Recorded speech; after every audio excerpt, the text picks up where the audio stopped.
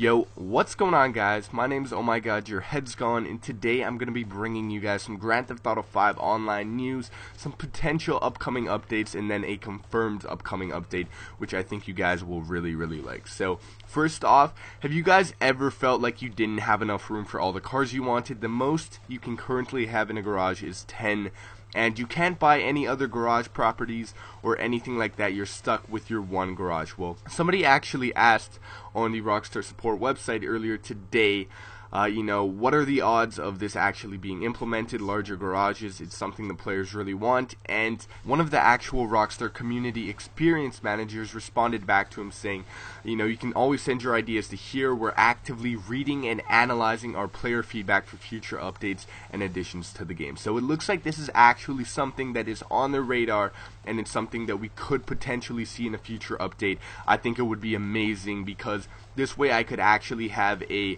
car for each race class and then I could have all my fun cars on the side.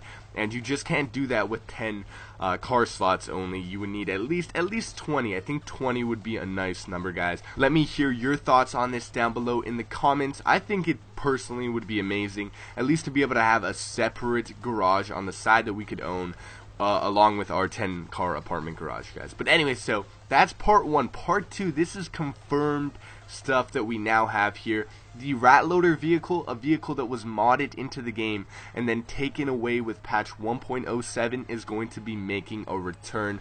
A lot of people in game really like that vehicle and Rockstar they listened to the players that were that were really upset that the rat loader vehicle had gotten taken away so they've actually confirmed that it's coming back and uh, and everybody will be able to get access to it. And and that's a really cool first step from Rockstar because it means that there's actually potential for a lot of the other vehicles that were modded into the game that were fan favorites to make an uh, to make a reappearance back into online, like the the clown vehicle, the Space Docker, um, you know, all those really enjoyable vehicles that everyone liked but uh, and that didn't really affect the gameplay, but they were modded into the game, so Rockstar did end up removing them, guys. So I'm really excited about this. If you guys want details on either of the things I mentioned in this video, I'll leave some links down in the description that are my sources from the actual Rockstar uh, official support website, and you guys can take a look there. But anyways, guys, if you guys enjoyed the video, don't forget to leave a like on the video, subscribe if you guys are new, and obviously leave a comment down below.